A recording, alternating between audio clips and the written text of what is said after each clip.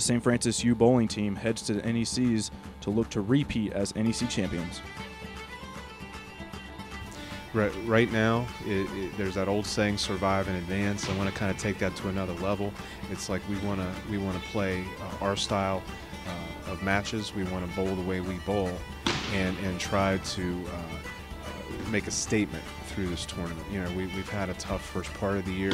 We've had a great second half of the year. So we want to continue uh, the type of play that we've been uh, we've been experiencing, and hopefully enjoy success. I mean, it's going to be a tough weekend, but we got to we have to rise above it.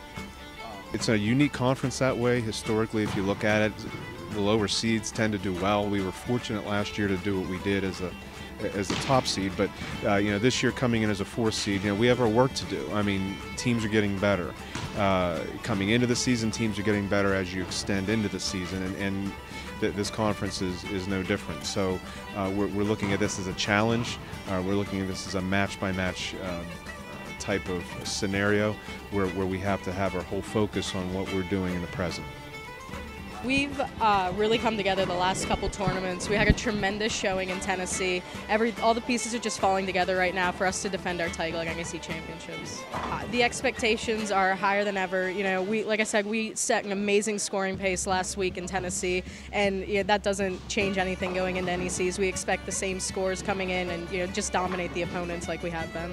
Uh, just going back, the competition, the head-to-head, and everybody that was there was here last year will be there this year again, and some people might be a little hurt over it. So there'll be we'll have a big target on our back, but I think we'll do pretty well this weekend.